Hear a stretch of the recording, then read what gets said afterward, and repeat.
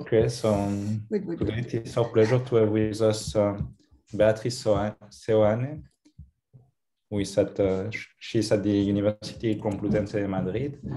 So short bio of her. So she, she did her PhD at the Universidad Complutense de Madrid.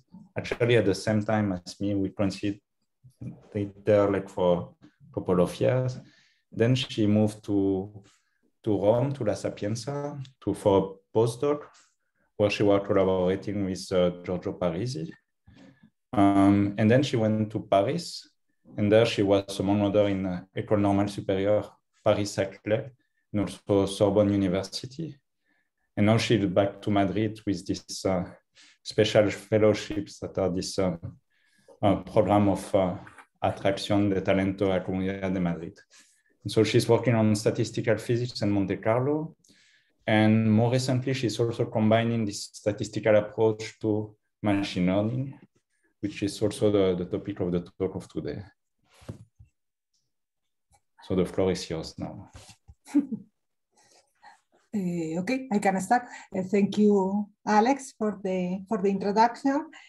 And uh, yes, as as Alex was um, telling us before, I've done uh, most of my career in disorder systems, in particular in statistical physics of disorder systems and I don't know, spin glasses, mostly spins, but not only. I have done quite a lot of work on glasses of the lattice uh, as well.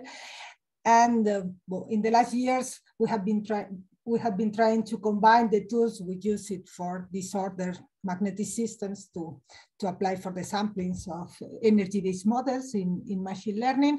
So I will be speaking a bit about, I mean, we have been revisiting the way that uh, restricted Boltzmann machines are trained. What I'm going to discuss, in principle, it applies also to other kind of energy-based models. So it seems to be quite uh, general and I think quite, quite useful. So I hope you, you like it. And uh, okay, the work, uh, okay, you, I suppose, I you see myself, no? So you see this thing here? I should No, no, no, we don't see it. No. Ah, okay, no, because since I had the screen, I didn't know. Okay, so this work I'm presenting, it was done in collaboration with Aurélien Decelle, who is also in the Talentos uh, program in the Complutense with me, and Cyril Furtlehner, who is in, uh, in, in, Paris. And the last part of the talk that I will discuss, in which is uh, work that we are writing uh, right now, it was done in collaboration with a student that was doing the master thesis last uh, year in, in Madrid, in the Complutense with us. I don't know if I will have time to speak a lot about this, but I will introduce it a bit. Okay, so restricted Boltzmann machines belong to the family of uh, unsupervised models that try to be generative this means that the goal is we're going to feed data to a machine. We want to feed the model. And once the training has finished, we would like to use the machine to generate new data that looks very much like the original data, but it's completely new. It's not one of the samples that we had before. Okay, in the literature, there are many possible uh, ways of doing this. One of them is these energy-based models to which uh, uh, belong, but there are also many other possibilities. And in the last years, it has been, uh, it's becoming quite uh, uh, popular other kind of methods that are, for instance, the generative adversarial networks, the, the GANs or the variational autoencoders. In this work, I'm only going to speak about the training of energy these models, focusing on restricted machines, but as I said, it should be, but we know that it applies also to other kind of models. Okay, so we want to learn different kind of data. For us, in principle, it could be any kind of, of data. Here in this presentation, I will show some results obtained for different data sets. For instance, the MNIST, that it's this digits uh, hand digits database or Celeba, which is a database of uh, pictures of uh, popular people. And also we have been, for the reasons, quite interested in studying sequence data. It can be DNA, So we can have different nucleic acids in each position of the sequence, or it could be proteins in which we normally speak of families of proteins in which we take different proteins that are that share common ancestors. That will be, for instance, a particular protein that you can find in different organisms. You can compare the, the sequences and trying to do statistics with this. Okay, so the, the idea of energy-based models, and that's what the, the name is originated, is to the idea of, okay, for each configuration, we want to assign a particular energy function that could be in principle whatever, in which this energy function should depend on the variables that it will be, okay, we have images, it will be our, our pixels. Other variables that are latent variables or hidden variables that we don't see that they are introduced in the model, but uh, they are not observed in the, in the, in the configurations and certain model parameters. Okay, the idea of this energy function is that if we have an energy function, we can assign a probability to its configuration just using a, Gibbs or a Boltzmann distribution. Of course, we don't know the normalization, but we know that at least the relative probability of, of its configuration. Okay, so the learning is precisely trying to find the parameters that makes the data set a good configuration, um, the data set good equilibrium configurations or typical configurations of our model. Okay, these uh, models are normally trained uh, by log likelihood uh, maximization. And the idea is, okay, what we want to say, what we want to find, it's the parameters, this uh, this delta that makes the probability of observing a given set of, uh, of samples, the ones we had in the data set, maximal. So in this case, we are uh, summing up all the latent variables. So we want to maximize the restricted probability of observing certain configurations. Okay, so this is normally trained uh, via gradient uh, descent normally stochastic gradient descent. And we can see, I mean, from physics, because it's the same problem that we, we get normally, we cannot compute this, this log likelihood uh, function because we don't know the partition function. So we cannot, at least unless the data set is extremely simple, uh, we need to mm, estimate uh, the estimate these probabilities by using, for instance, Monte Carlo sampling or our uh, sampling, uh, favorite sampling uh, procedure. Okay, the energy function of these models can be essentially whatever.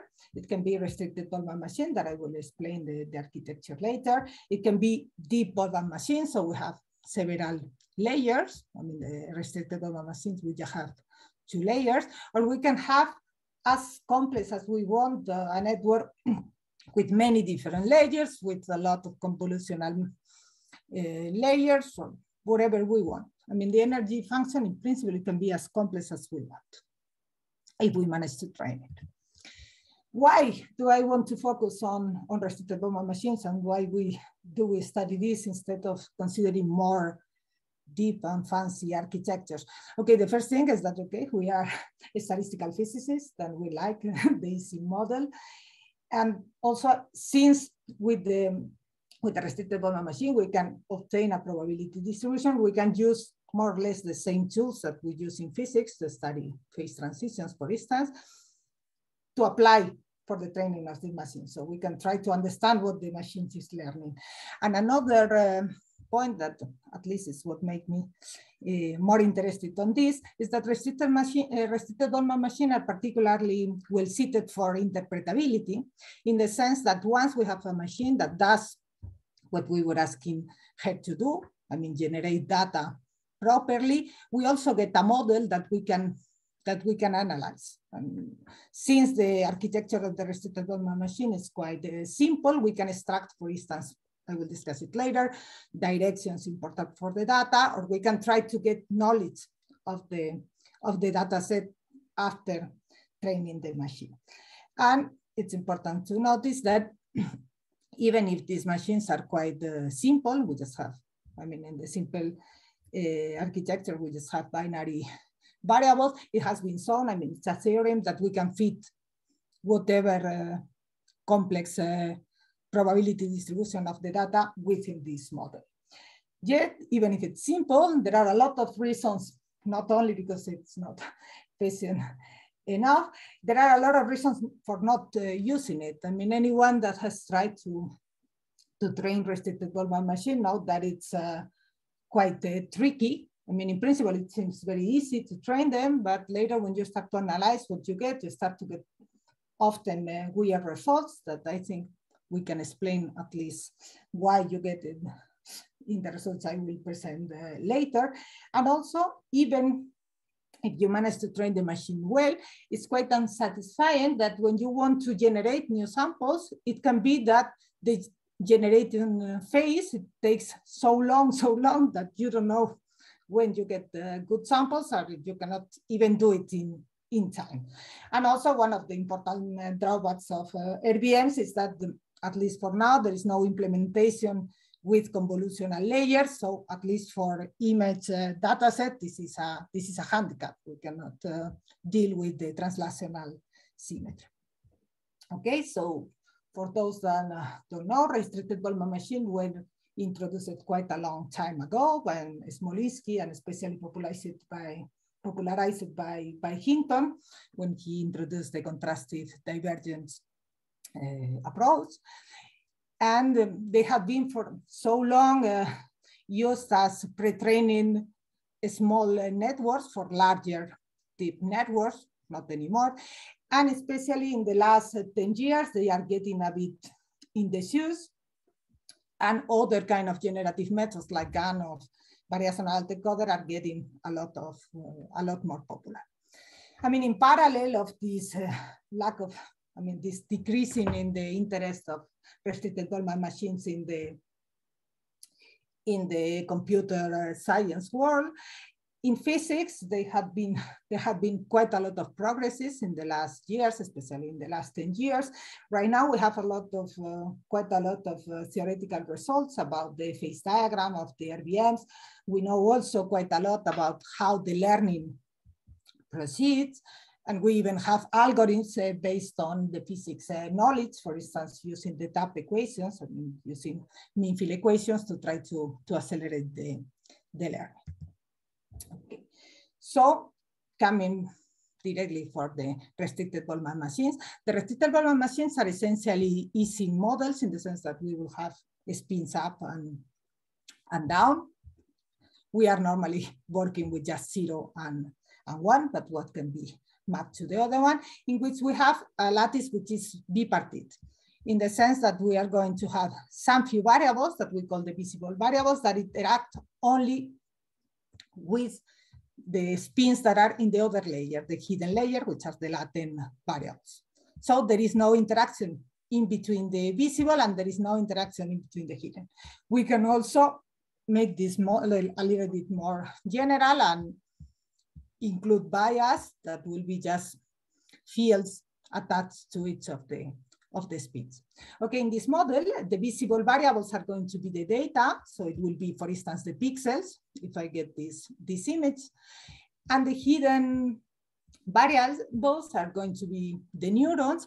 And it's essentially what it's giving us the features that we want to start. If we want to analyze for interpretability, we're gonna focus on this on this latent uh, world and also on the, on the model. Because of these uh, possibilities uh, of interpretability of these kind of models, I, I, have to say that RBMs are getting quite uh, important, in, for instance, in the in the bioinformatics world concerning uh, sequence data, as I was saying before, as a universal tool to extract information from sequences that you don't know in an unsupervised uh, in an unsupervised work. I mean, there has been quite a lot of work done recently on this. Okay, so just coming back to this idea, the for the for the energy-based models, we have two different phases. We have the first one during the learning, we just feed the machine with with data, and we try to fit the parameters of the model. And later, once we have a machine that is uh, well trained, we have the generating the generating uh, part in which we take the model and we want to generate new data. So now we have all the parameters of the model fixed and what it will change will be the, the dynamic variables. And once we explore the, the visible ones are the ones that are the new data, uh, the new data constructed. So if we have a model that is good, we would like that if we take a random configuration and we start to sample the model in the same way that we would do with the Ising model, we get the, the Ising model and we start to, to do metropolis or heat bath. So we split, we uh, reverse the, the spins and we want to go through the dynamical path towards equilibrium. We would like that if we do the same thing with the machines, uh, we get configurations. And here I showed you exactly this, doing with uh, MNIST and with uh, these phases with CelebA data set. So if we start from random, we want to, I mean, if the model really learned a good representation on the data, after a lot of time, we should be able to, to create good, um, good new data. Okay, so the learning, as I said, uh, passed by learning these uh, parameters of the model, which will be this uh, decoupling matrix uh, omega, or this uh, bias for the visible or for the, here I left the, or the, for the visible or for the, for the hidden. And the idea is this. So for each configuration that we have at any stage of the learning, we, we assign a probability that will be given by the, the energy that we assigned before with a partition function that we don't know how to, to compute, as I said before. So we are going to maximize the, the log likelihood. And for this, we need to compute the, the gradient, uh, the gradient of the log likelihood to go, to go up. It can be seen uh, quite easily that in the restricted Boltzmann machine, the gradient has a very simple structure it, it is composed by two parts. One in which, for instance, if we do the gradient over the, the coupling matrix, we're going to get the correlation between the visible and the hidden variables, but computed either using the data set, that is, we compute this magnitude using all the configurations that we had in the data set. This is easy. I mean, we have to integrate out the, the hidden variables, but this we can do it quite easily. And we have to subtract later the mean value in the model, which is the hard part, because as I said, we don't know the partition function. So with this, we cannot compute it exactly. We need to estimate it, for instance, with, with Monte Carlo. Okay, we'll pass later to how we do this, but just to come back to the interpretability, I want to uh, give some uh, ideas why we think these uh, RBMs are quite useful for this. For instance, if we take this energy function and we sum up the, the hidden variables, so we get an energy, once we have trained the model, we have an energy function for our model.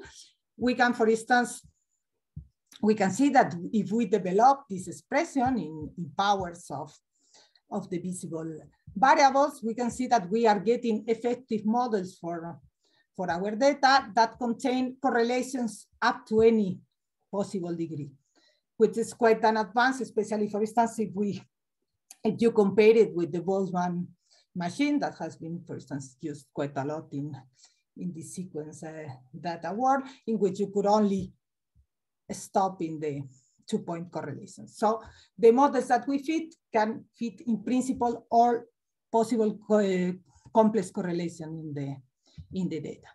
Also, uh, as I said, there are quite a lot of results, theoretical results uh, from statistical physics that tell us how is how does the the learning proceed once we get we get the real data, and it has been shown that at least at the beginning of the learning, you start with uh, you are in a phase when the when the couplings are small and, and random, we start in a paramagnetic phase.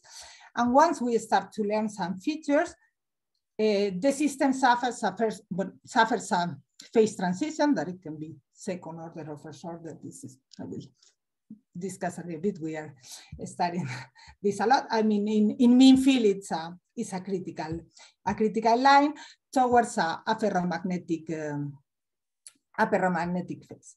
And how it does proceed? Okay, they, it can be it can be shown that the machine, the, the weight uh, matrix, start to learn the principal directions of the dataset. So it will start learning the first uh, principal direction of the dataset and the second, the third, up to certain moment, and later the the learning proceeds in other ways that we don't we don't know. But I, we know that at the beginning it starts exactly learning the the principal directions of the dataset.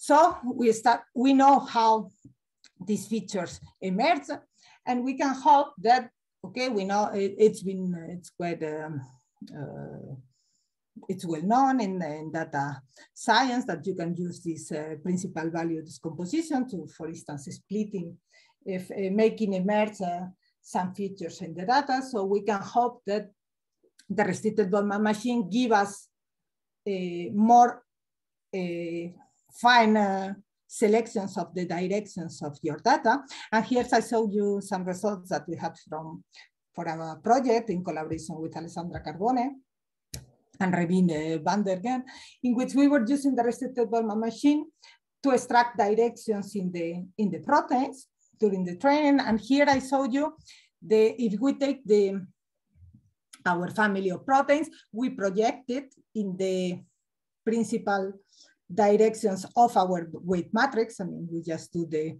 the SVD decomposition. If we project it in the first and in the second and the third and, and the fourth and so on, okay, we get several clusters, the data clusterized in different regions. And for instance, if we take uh, here, I color the different proteins in which we know whose function is by different color, we can see that without any prior uh, knowledge, only with the directions led, but the, uh, learned by the restricted Boltzmann machine, we can actually split the functions by the, the proteins by function without a prior knowledge, which is quite nice. So the directions that the machine is, uh, is learning are actually physical and it can be interpreted in a biological, in a biological way.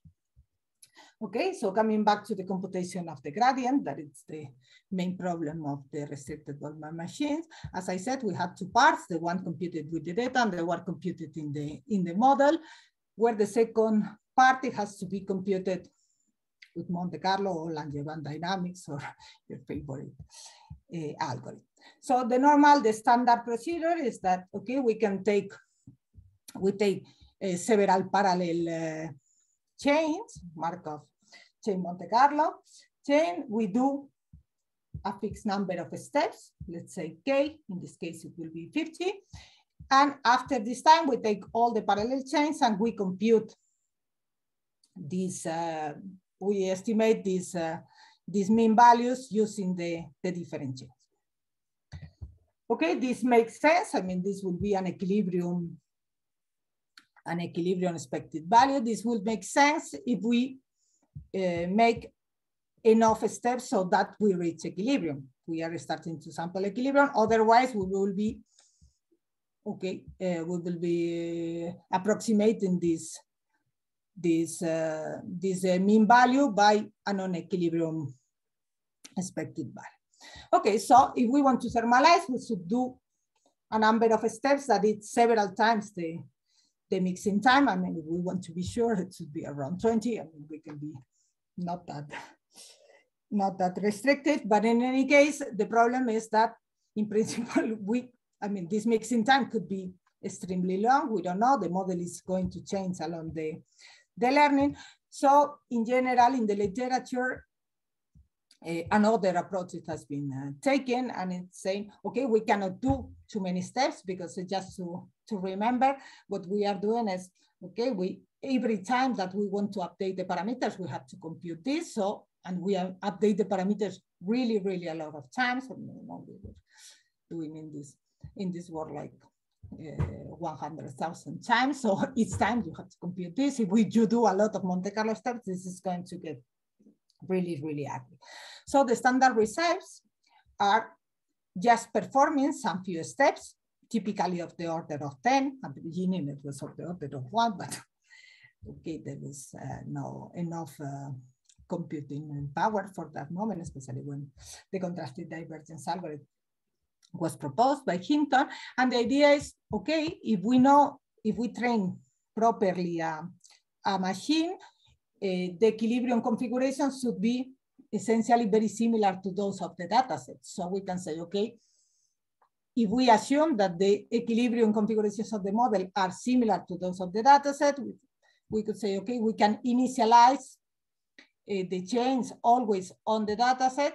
For instance, the, the digits that we were considering before, just do some few steps and our estimation of the, of the model uh, mean value, I mean, the canonical mean value should be more or less uh, correct. Okay, it's a bit more Eh, complex than this because normally this is done within the minibats, but the idea is, is this. Okay, this model was proposed in 2002 and it later was improved with a quite a clever idea is, okay, we continue doing just some few steps, but since we are updating the machine step by step, the parameters, the configuration that we had I mean, if we, since we are changing the parameters really, really slowly, like if we were doing an annealing in the, in the parameters, we can reuse as uh, initial, initial configurations of these Markov chains, the ones we got from the previous training step and just do some few steps. And if we were in equilibrium, we would be mostly in equilibrium all the time, which is known as persistent contrastive divergence. Or we can do, as I said, we can try to do more clever updates like using the TAP equations to improve the, the, the sampling, but this is an approximation or there have been uh, several approaches to try to use parallel tempering algorithms or simulated annealing to try to get better equilibrium estimations. Okay, in the work that I was, uh, that I'm presenting today, that was uh, it was accepted for the audits uh, last year, we saw that actually the machine uh, performs in two different regimes depending on how you compute the gradient. Okay, if you use non-equilibrium configurations to estimate the gradient, we would say that it's it works in a non-equilibrium regime. And actually what you fit in the parameters is not the equilibrium model, but you encode the dynamics, use it to to train it. I will explain later what I mean by this. If you use a number of Monte Carlo steps, that it's enough to reach equilibrium and to get a proper estimation of the gradient, then you end up with, um, with a model that, I mean, once we study the, the typical configurations in the model, they will match quite well the, the data set. So we can use it to extract the probability density of the, of the data set. What do I mean with this non-equilibrium region? For instance, imagine we train the machine, but instead of using the results that I was saying before, we just initialize uh, all the Markov chains at random, so it has no memory on the previous configuration. We do 10 steps and we update the parameters many times. What we see is that if later we repeat the same procedure for the sampling, which is the normal procedure for the sampling in which you want to, starting from random, obtain independent uh, configuration, we see that after 10 steps, we start to get numbers that I mean, we can get all the 10 numbers in, in good proportions. But if we continue later doing much longer samplings, I mean, we are exploring the, the configuration space of the model. Once we do samples long and long, we start to get very biased representations of this data. Clearly we get numbers, but as you see, most of them are one with exactly the same structure. So the equilibrium configurations of this model clearly are not good configurations for, are, are clearly not good representation of the data set, but we get fairly better when we do just few steps. Okay, we could do the same trick, but in this case, we use a, um, restricted Boltzmann machine trained, started uh, from random, but doing 100 steps. And once we do, okay, this was during the training, but now if we do the sampling, what we see is that it will take us quite a lot more steps to start to get proper numbers. Okay, in this case, around 118 before we have 10. But again, if we do much longer samplings, we start to get exactly the same effect. I mean, we start to get all ones or this was with random, doing the random, with all the receipts, you can get, for instance, all zeros. But the point is that we get very biased configurations that are clearly not very similar to the data set. Okay, our point is that you're learning actually the the dynamics you use for the training. And for instance, you can see one of the bad consequences of this is that if you train the, the machine uses the contrastive uh, divergence uh, recipe, that if I recall you, it was starting always from the data set, you do some few steps, starting from numbers, for instance, in MNIST, you do some step of sampling and compute the gradient. And now, once you have this machine trained, which has quite uh, nice uh, log likelihood values, for instance, so it seems a good machine. You starting from random configuration, you start to do sampling of this machine. As, as you can see, we basically get nothing. I mean, we have changed just the initial conditions and you get no number, even if you go to very long sampling times. In fact, at the moment, we don't even get uh, images. It gets almost everything black. On the other way around, we could say, okay, we can start initialize our Markov chain, our Markov chains from the data set and do steps because this would match exactly the, the training and dynamics. And okay, we can do this, we get numbers, but as you can see, we get exactly the same numbers that we gave uh, as initial configuration. So we are not generating configurations. We are essentially just repeating the same one, we get frozen there. And if we go longer, I mean, trying to equilibrate, we get this all black. So at least from this talk, the message is don't use contrastive divergence because it's useless. You cannot use it for generation and you cannot use it to, to study the, the model you get. Okay, this I was just speaking, okay, saying if we match the same the same initial configuration, the same initialization of the Markov chains that we use during the during the learning, we get quite good configurations, but we could not only change the initial configurations, but we can also change the dynamics. All the results that I was uh, showing before, they will, I mean, the sampling was done using heat-bath updates, but we could, for instance, train a machine using mean field uh, steps as, as I said before, with the TAP equations. And if we get this machine well trained, later we can, okay, start again from, from random. Okay, it was done with mean field, but starting from random, the training. So now we do the sampling. You start from random. We do some steps, but we sample the, the machine using standard well, uh, heat-bath dynamics. And we can see is that, again, we don't generate any kind of number. Here we, we get until 10,000 Monte Carlo steps. What happens if now, during the sampling, we repeat the same kind of dynamics? I mean, we do TAP uh, updates. Then, in this case, this machine, it was, uh, it was um, trained using 100 steps, and we can see, okay, it take me some time to reproduce numbers around the same time used for the training, but later we just get frozen there. It doesn't evolve anymore. In fact, we could study this in a, in a systematic way. We can consider a restricted Boltzmann machine trained with a recipe. In this case, starting from random, we do 10 steps and we do many parameter updates. Here I saw different numbers of the parameter updates uh, in different colors. These are in log scale, so this is much, much longer than, than the first one. And here I show you, uh, we, we were trying to estimate how good the samples were as function of the, the number of sampling stems and the number of parameter updates.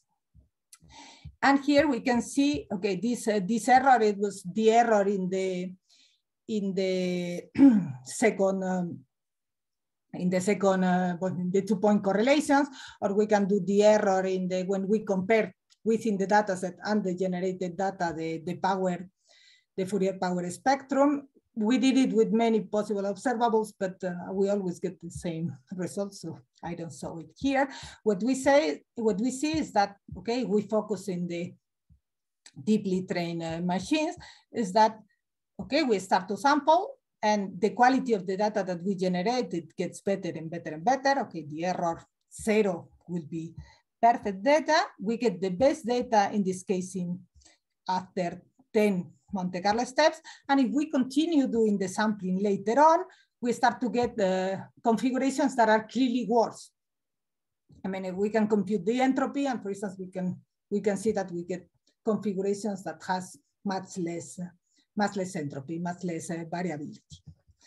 Okay, this I said it using machines that were uh, just uh, were trained using random and 10 steps but we can train machines using random and 100 steps up to random and 10,000 steps, and we get exactly the same, the same behavior. But the point is that the best quality point, it appears always at the same number of steps used to train the machine. So the machine has memory of how it was trained, which is clearly a, a non-equilibrium, a non-equilibrium effect. One of the nice thing is that we can see that the quality, at least concerning these, uh, these operators, it's quite similar. I mean, the, the quality of the sample generated with this out of equilibrium scheme, it's quite similar, even if we do some few steps or we, we do many steps. The only problem is that in the case the machine was trained with a lot of steps, you will need as many steps to get good samples. What happens? Okay, this is a memory effect. Of course, uh, if we do simulations, we estimate the gradient with simulations that are long enough to equilibrate, it is not possible that, that we observe this. And in fact, if we get the, this machine and trained with 10 uh, up to four 10,000 steps, we can see that up to certain number of, of uh, parameter updates, okay, this will be so few and we go down in the number of parameters update, we see that the machine behaves in the way that one would expect. We start to sample it.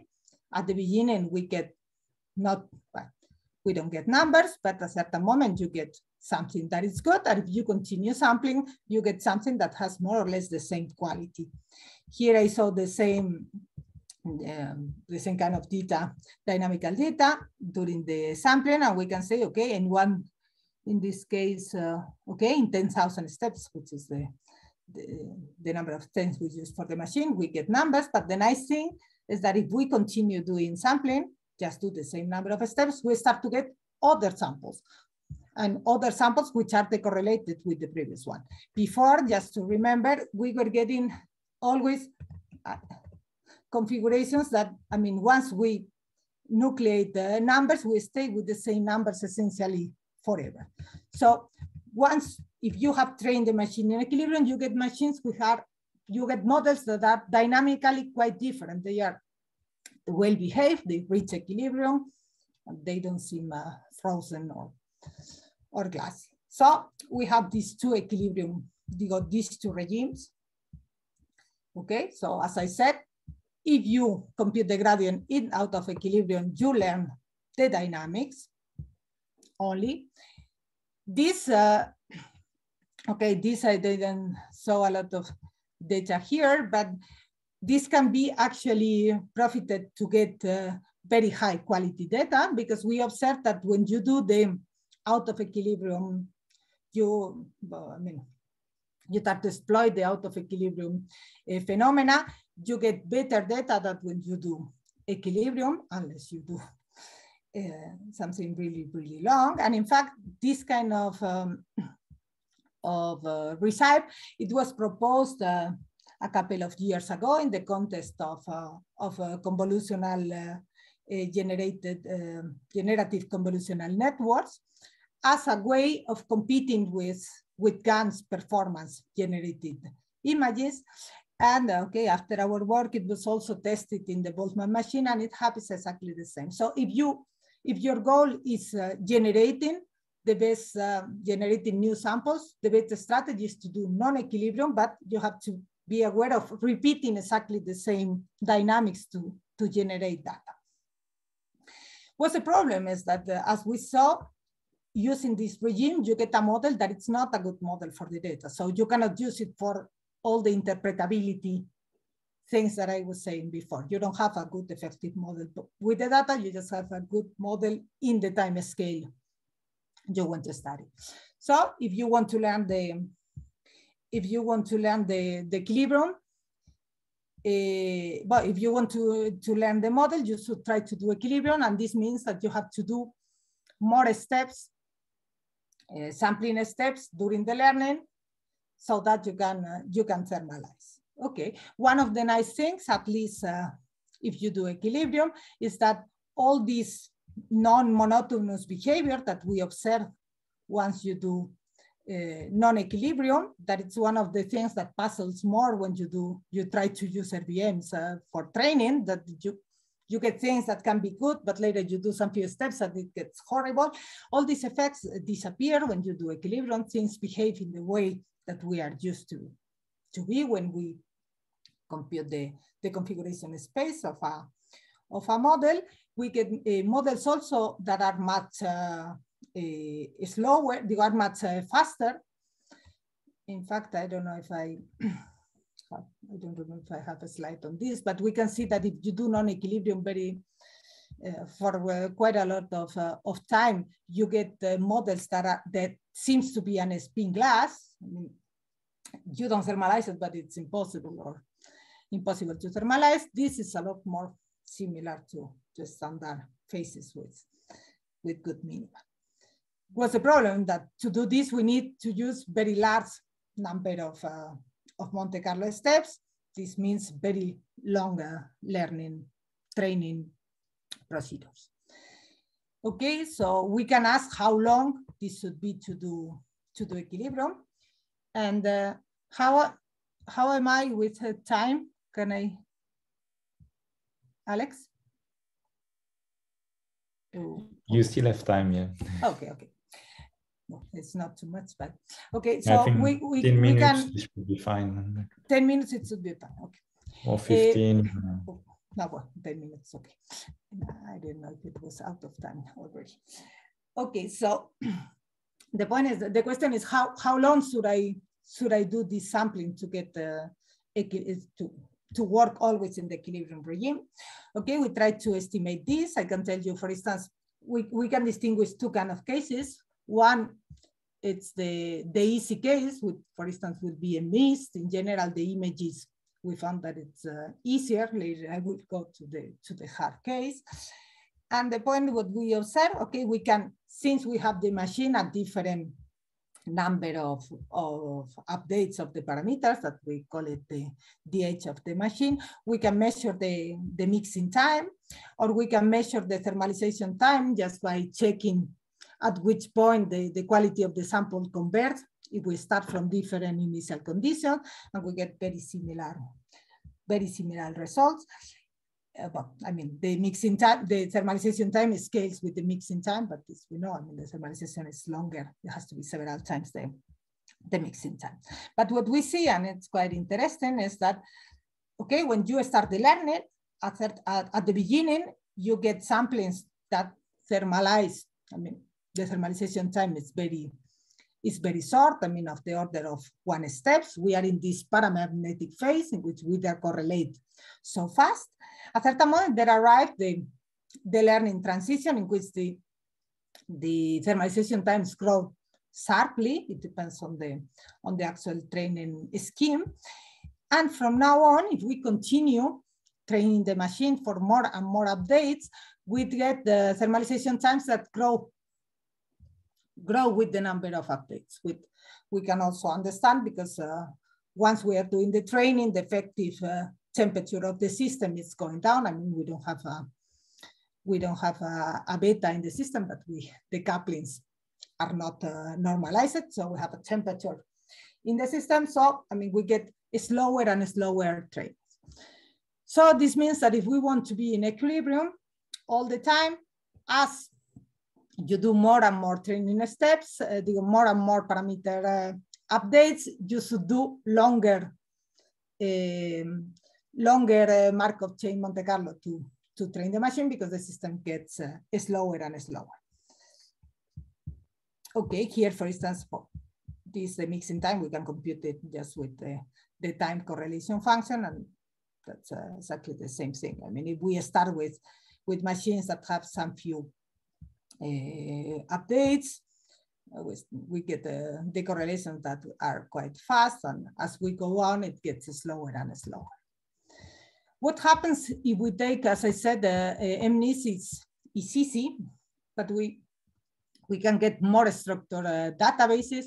For instance, the one I was uh, uh, showing at the beginning about the um, the 100 genome project, in which we have the, the some part of the genome of 100 people, and we try to study it. What we see is basically that when we compute the when we compute the um, the mixing time, we get the okay very few very small values for some number of the parameters. And at a certain moment, we see that we don't thermalize anymore. Up to 10 up to five steps. I mean, if we compute the time correlation function, okay, we get either something that they correlate so fast on something that goes beyond the our capability of, of measuring. So um, okay, we were wondering, we have been wondering what was uh, happening, and this is related, of course, with this transition that I was discussing before that was um, introduced in mean field, but at least when the weights are very are very small at the beginning of the learning, it's a good approximation. And what we see in this case, if we project, as I said, okay, we the, the model start to learn important directions of the of the data set what we see is that, okay, once we are in the, here I saw the data projected on the features, I mean, the principal directions that we get in the, in the weight matrix. I mean, we, we get the eigenvectors of this weight matrix and we project our data there. And here I saw the first direction and the second direction. What we see is that, okay, at the beginning of the, of the learning, before learning anything, when we project our data, it just we just get one uh, maxima around certain values. But what happens just after the we, just after the training is that this data splits up into. And if we go on and on and on, we start to get a lot more splitting if we do. I mean, we are doing out of equilibrium and this is an effect of this. so it's clear that now it starts to be, I mean, we want to sample the configuration, this configuration space. We have a barrier. So it's clear that we're going to have exactly the same problem that we normally have in, in, uh, in, the, in the vicinity of a first order transition, that we just get trapped in one of the maxima. Just to, to recall you about these metastable states, if we consider the Ising model uh, at zero at zero field. Okay, if we go down in temperature, we will have a, a critical transition, but if we go even below the critical uh, transition, we will have, in practice, we will have a spon um, spontaneous symmetry breaking, and we will observe either all the uh, last part of the spins pointing in the positive direction or a last part of the spins pointing in the negative direction. But uh, both, I mean, the positive and the negative magnetization uh, have exactly the same, the same probability.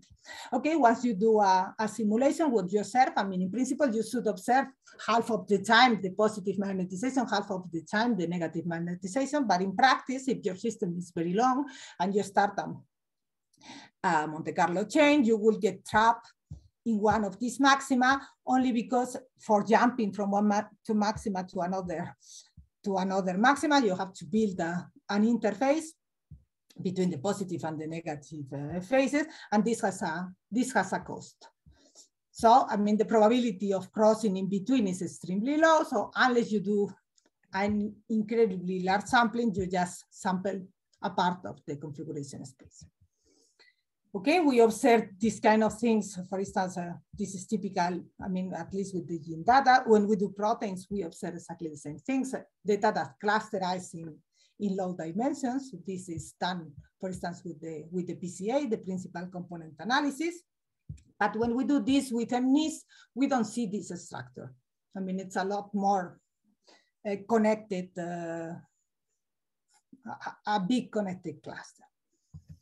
Okay, so we have been working, but uh, just illustrate uh, on another strategy for this uh, clustering, for this clustered data set, which is essentially doing uh, umbrella sampling. Okay, we know that the way of the way of avoiding these problems of thermalization, where you have several coexisting phases, is to impose uh, certain, uh, I mean, to, to force the, um, to, for instance, imagine that we have several clusters like here, if we do Monte Carlo, as I said, you get trapped in one of these. And we know that the good way from physics to try to force to visit all the configuration space is to introduce some constraints in the dynamics. So we force the system to visit all the, the configuration space.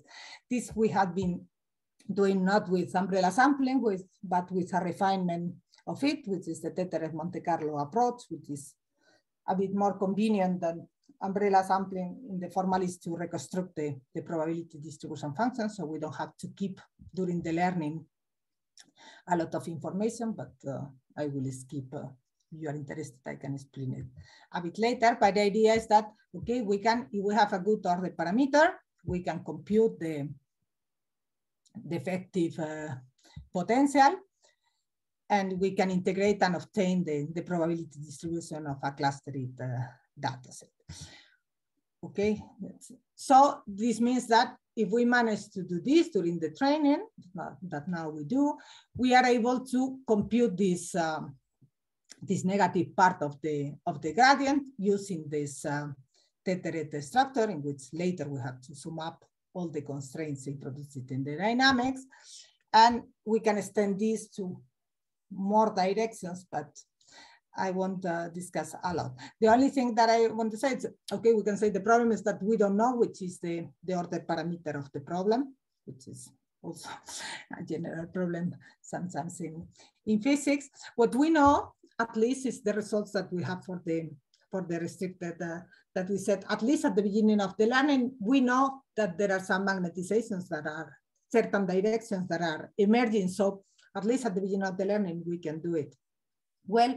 And later what we observe is that, um, okay, this approach works quite well if we have um, data that has, that it's uh, that clusters in low dimensions, if we have very complex uh, data set with many possible directions, okay, this strategy doesn't work anymore, but we get quite better results. Okay, this uh, is a paper that we are writing now, so it's not this one but I just come back to the to the conclusions. So as I as I discussed, these kind of machines, these energy-based models, basically they, they are, they operate in two different ways.